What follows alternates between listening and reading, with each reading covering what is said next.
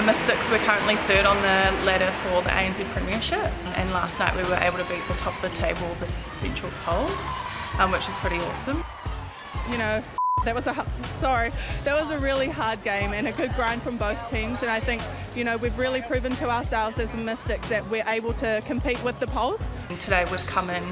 Um, it's meant to be a rest day, but um, we've come into the Blues facility, which is pretty awesome. Um, they've got a great facility, and the fact that we were able to uh, have some of the girls experience this, and it's pretty cool to see um, how other athletes train and the facilities that they work in.